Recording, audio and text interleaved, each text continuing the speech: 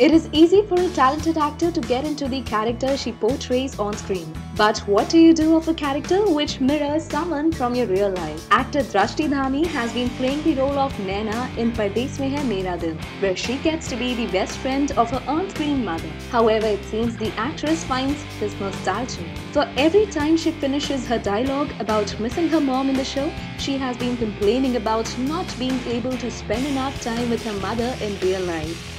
Drashti was quoted saying, My chemistry with my on-screen mother Asha is same as my real-life relationship with my mother. I plan most part of my leaves to spend quality time with her and my family to compensate for my hectic working hours.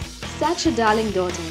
So what do you feel on this story? Leave your comments below. And for more television updates, subscribe our channel TV Prime Time.